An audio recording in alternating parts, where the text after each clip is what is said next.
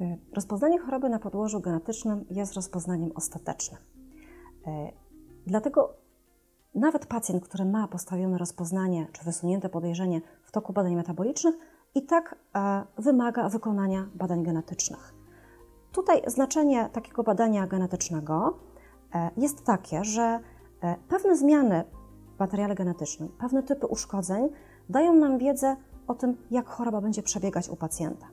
Dają nam wiedzę, w jaki sposób powinniśmy tego pacjenta prowadzić.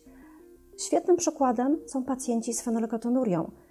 Konkretne mutacje w materiale genetycznym dają nam e, taką wiedzę, że ci pacjenci będą mogli w przyszłości odstąpić od stosowania restrykcyjnej diety, a wspomagać się tabletkami.